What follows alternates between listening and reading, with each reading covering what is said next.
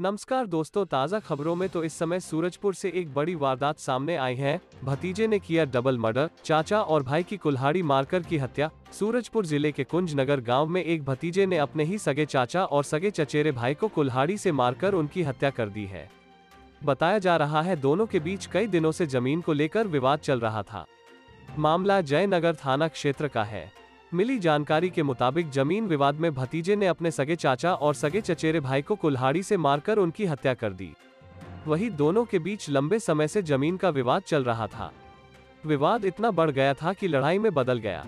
आरोपी हत्या के बाद मौके से फरार हो गया। सूचना के बाद मौके पर पहुँची पुलिस मामले की जाँच कर रही है। फरार आरोपी की खोज में जुट गई है।